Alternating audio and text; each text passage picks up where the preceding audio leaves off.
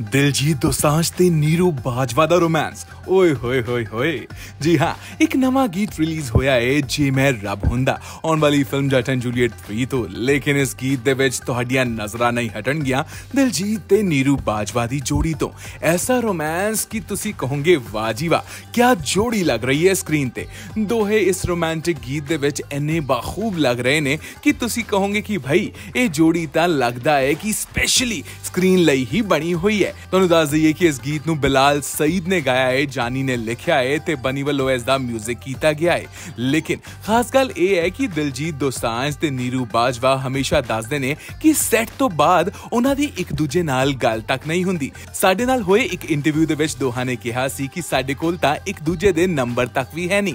ਅਸੀਂ ਕਦੇ ਵੀ ਪਰਸਨਲ ਗੱਲਬਾਤ ਤੱਕ ਨਹੀਂ ਕਰਦੇ। ਲੇਕਿਨ ਦੋਹਾਂ ਦੀ ਕਲਾ ਦਾ ਐਸਾ ਰੂਪ ਤਾਂ ਵੇਖੋ ਕਿ ਇਸ ਗਾਣੇ ਦੇ ਵਿੱਚ ਉਹਨਾਂ ਦੀ ਕੈਮਿਸਟਰੀ ਕਾਫੀ ਚੰਗੀ ਲੱਗ ਰਹੀ ਹੈ। ਔਰ ਵੈਸੇ ਵੀ ਜਦ ਜਦ ਇਹ ਦੋਹੇ ਇਕੱਠੇ ਆਏ ਨੇ, ਫਿਲਮਾਂ ਨੂੰ ਵੀ ਬੇਹੱਦ ਪਿਆਰ ਮਿਲਿਆ ਹੈ। ਹੁਣ ਜੱਟ ਐਂਡ ਜੂਲੀਅਟ 3 ਦਾ ਗੀਤ ਜੇ ਮੈਂ ਰੱਬ ਹੁੰਦਾ ਰਿਲੀਜ਼ ਹੋਇਆ ਹੈ ਜਿਸ ਦੇ ਵਿੱਚ ਦੋਹਾਂ ਦੀ ਕੈਮਿਸਟਰੀ ਕਮਾਲ ਲੱਗ ਰਹੀ ਹੈ। ਫਿਲਹਾਲ ਇੰਤਜ਼ਾਰ ਤਾਂ ਹੁਣ ਇਹ ਹੈ ਕਿ ਅੱਗੇ ਅੱਗੇ ਇਸ ਕੈਮਿਸਟਰੀ ਦੇ ਵਿੱਚੋਂ ਲੋਕਾਂ ਲਈ ਕਿੰਨਾ ਕੁ ਐਂਟਰਟੇਨਮੈਂਟ ਨਿਕਲ ਕੇ ਆਉਂਦਾ ਹੈ